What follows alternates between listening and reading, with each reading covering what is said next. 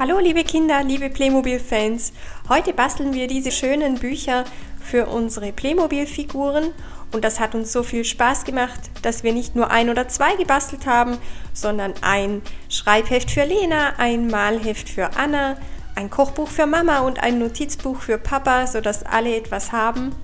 Und wenn ihr Lust habt, könnt ihr da auch ganz viele in unterschiedlichen Farben und Mustern machen.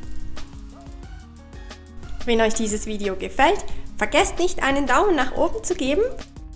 Und jetzt fangen wir aber an zu basteln. Was ihr zunächst einmal braucht, ist schönes buntes Papier. Das kann einfarbig oder gemustert sein, aber es sollte etwas dicker sein, damit man damit den Umschlag machen kann. Dann braucht ihr noch weißes Papier, einen Tacker, ein Lineal, ein Bleistift und eine Schere. Als erstes malt ihr auf das weiße Papier einen 2 cm breiten Streifen auf. Den schneidet ihr dann ab.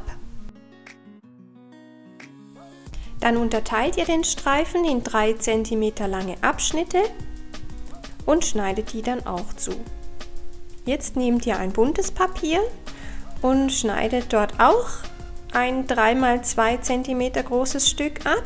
Dann faltet ihr diese Blätter so wie ihr es hier seht und schiebt alles ineinander. Dann könnt ihr schon mal sehen, ob alles gut passt. Und jetzt müsst ihr es in der Mitte zusammentackern. Dazu klappt ihr alles nochmal auseinander und tackert es so fest. Damit ihr genau die Mitte trefft, empfehle ich euch, den Tacker schon ohne Blätter einfach nur mal zusammenzudrücken, damit die Klammer schon mal ein bisschen rausschaut und dann seht ihr genau, wo ihr den Tacker ansetzen müsst. So, das erste ist schon fertig.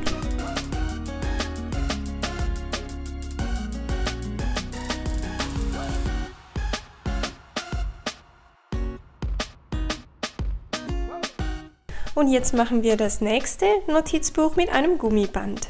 Dazu schneide ich mir diesmal ein Stück blauen Karton aus.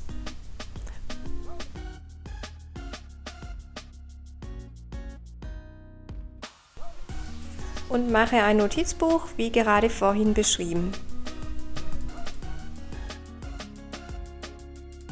Jetzt braucht ihr eine dicke Nadel, um auf der Rückseite zwei Löcher hineinzustechen.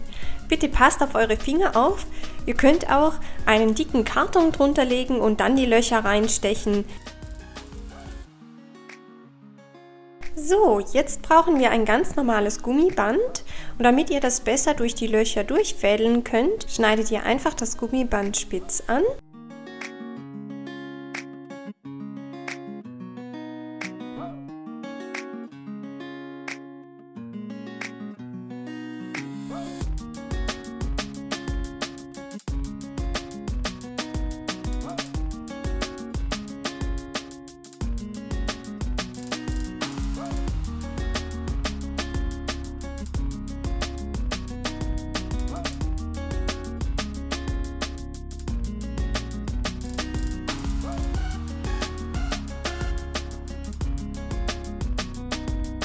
Wenn es noch ein bisschen zu lang ist, dann zieht ihr einfach unten noch mal ein bisschen fest und schneidet dann den überschüssigen Gummi hinten ab.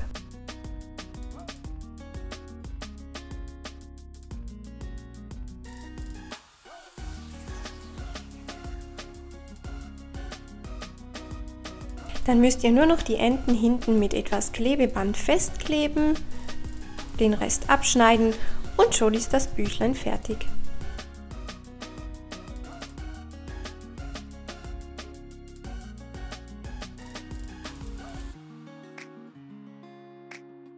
Ihr könnt die kleinen Bücher jetzt noch anmalen, mit Aufklebern bekleben oder Schulhefte daraus machen, was euch gefällt.